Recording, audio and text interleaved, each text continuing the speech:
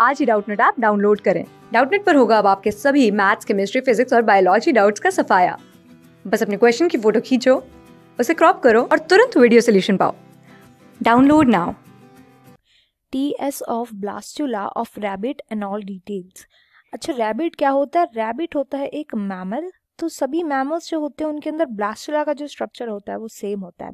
हमें इसके टीएस को डिस्कस करना है। ब्लास्टुला क्या होता है? ब्लास्टुला बनता है जायगॉट बनने के बाद।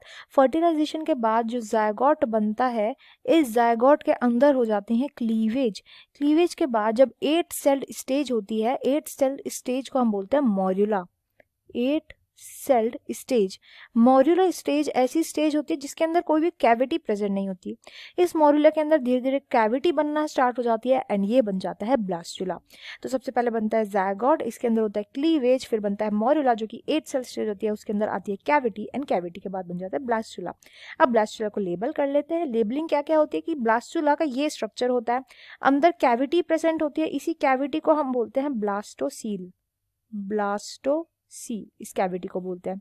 बाहर की जो लेयर होती है ब्लास्टुला की प्रोटेक्टिव लेयर इसको हम बोलते हैं ट्रोफोब्लास्ट ट्रोफोब्लास्ट यानी जो अंदर जो मांस यहाँ पे लटकता हुआ दिख रहा है, जैसे यहाँ पर जो हो गई, बाहर की कैविटी हो गई, बाहर की जो हो गई सेल्स हो गई, अंदर की कैविटी हो गई एंड यहाँ पे हमें लटकते हुए इधर सेल्स दिख रहे हैं। इनको बोलते हैं हम इनर सेल मास अगर हम इसका माइक्रोस्कोपिक व्यू देखें तो ऐसा दिखता है तो जो बाहर की सेल्स होंगी, ये क्या होंगी? ट्रोफोब्लास्ट ट्रोफोब्लास्ट ये हो गया inner cell mass inner cell mass यानी जो अंदर हो गई, ये हो गई ब्लास्टो सील जो कि अंदर की कैविटी होती है।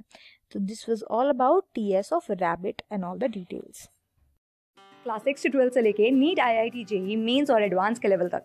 दस मिलियन से ज़्यादा स्टूडेंट्स का भरोसा। आज ही डाउनलोड करें डाउट नेट ऐप या व्हाट्सअप कीजिए अपने डाउट्स आठ चार सौ चार सौ चार सौ पर।